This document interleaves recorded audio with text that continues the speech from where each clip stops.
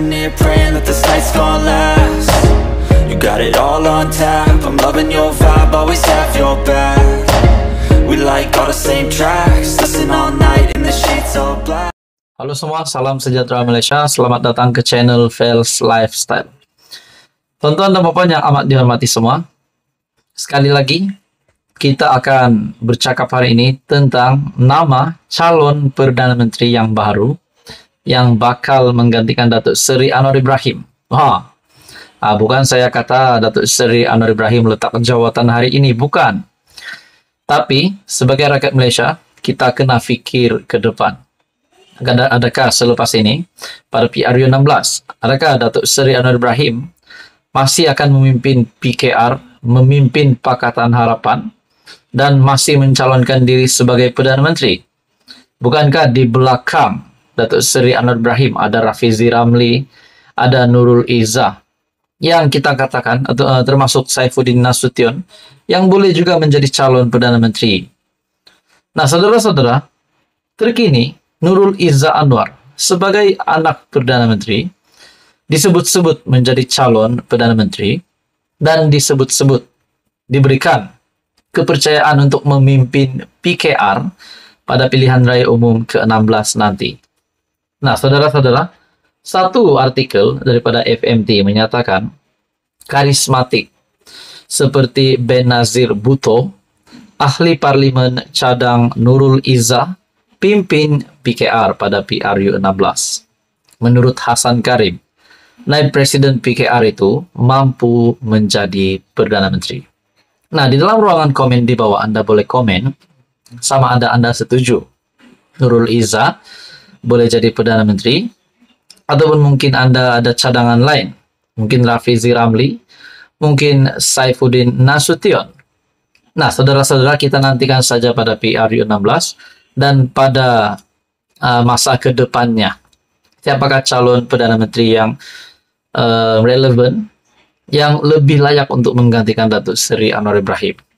Di dalam artikel ini, naib presiden PKR Nurul Izzah patut memimpin parti pada PRU 16 agar kerusi-kerusi parlimen yang tidak dimenangi pada PRU lepas dapat ditawan semula menurut seorang ahli parlimen. Membandingkan anak Perdana Menteri Anwar Ibrahim itu dengan Benazir Bhutto dan Megawati Soekarno Putri, Hasan Karim menyifatkan Nurul Izzah sebagai pemimpin yang berkaliber dan berpengalaman. Jika Nurul Izzah yang mempunyai watak kepimpinan yang karismatik, seperti Benazir Bhutto dan Megawati Soekarno Putri, berjaya dalam misi tersebut, maka tanpa syak lagi beliau Prime Minister Prime Minister material dan akan muncul kembali sebagai pemimpin masa depan PKR yang amat menjanjikan, kata ahli parlimen PKR itu di Facebook. Nah, saudara-saudara yang amat dihormati semua, bagaimana kalau memang Nurul Izzah akan menjadi pemimpin pertama PKR, pemimpin utama PKR, ataupun presiden PKR yang baru? Mungkinkah pada waktu itu Datuk Seri Anwar Ibrahim sudah memberikan ke kepercayaan sepenuhnya dan hanya menjadi penasihat. Nah, saudara-saudara, kita dapat lihat Nurul Izzah mungkin boleh juga menjadi Perdana Menteri dan begitu juga Saifuddin Nasution dan Rafizi Ramli. Tetapi kenyataan daripada uh, artikel ini ataupun menurut Hasan Karim, naib Presiden PKR Nurul Izzah mampu menjadi Perdana Menteri. Beliau juga Uh, mencadang Nurul Izzah untuk memimpin PKR pada PRU 16. Tonton jawaban, apa komen Anda berkaitan dengan isu ini? Sekian saja, teruskan bersama di dalam channel ini untuk info yang seterusnya. Tonton Bapak yang amat dihormati semua, salam sejahtera Malaysia. Terima kasih karena masih bersama di dalam channel Fails Lifestyle. Nah, ada satu berita baik, ada satu uh, berita yang paling dinantikan 30 juta rakyat Malaysia sudah pasti sebelum ini kita mendengar berkaitan dengan langkah Dubai. Langkah ataupun gerakan untuk menggulingkan kerajaan. Tapi kita dapat tahu untuk merealisasikan impian daripada mana-mana pihak untuk menjatuhkan kerajaan, kita boleh fikir secara rasional bahwa semua itu memerlukan duit. Ah, Jadi manakah pihak ataupun parti yang mempunyai duit yang cukup untuk merealisasikan langkah ataupun gerakan menggulingkan kerajaan? Seperti yang dinyatakan oleh beberapa ahli um, pemerhati politik sebelum ini ataupun penganalisis politik yang berkata money talks, no money no talk. Ah, saudara-saudara yang dihormati semua tidak mungkin sebuah uh, organisasi ataupun parti ataupun pihak yang tidak mempunyai duit mampu mengumpulkan sekutu yang banyak sehingga mereka mampu mengerahkan kekuatan untuk menumbangkan kerajaan. Kita juga tahu duit boleh menumbangkan, boleh menggulingkan tetapi boleh juga menaikkan kerajaan hari ini.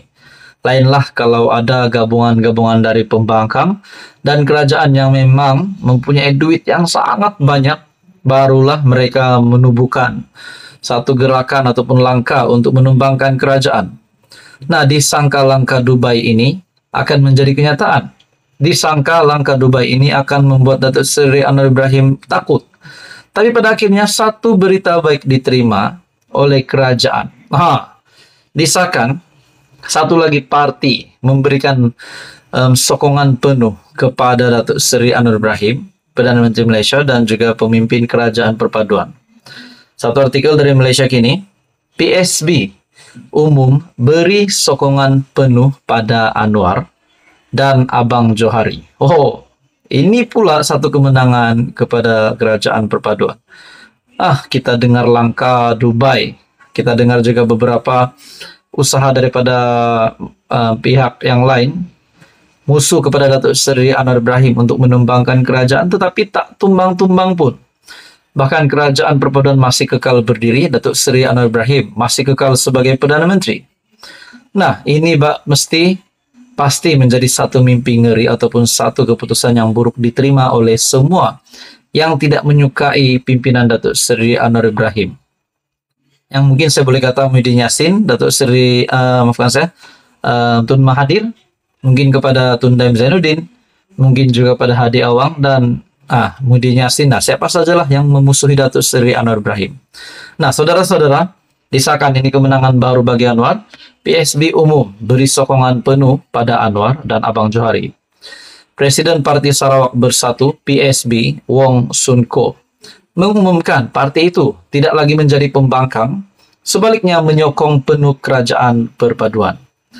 Kata Wong PSB juga memberi sokongan kepada kerajaan Sarawak yang diketuai oleh Abang Johari Openg.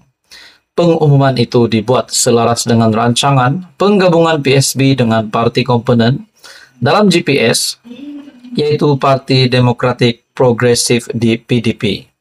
Perkara itu diumumkan pada perhimpunan bersama PSB DDP di Sibu. Nah, saudara-saudara, kemenangan Datuk Seri Anwar yang terbaru, di mana parti PSB yang tidak lagi menjadi pembangkang, sebaliknya menyokong penuh kerajaan perpaduan. Apa komen Anda? Sekian saja teruskan bersama di dalam channel ini untuk info yang seterusnya.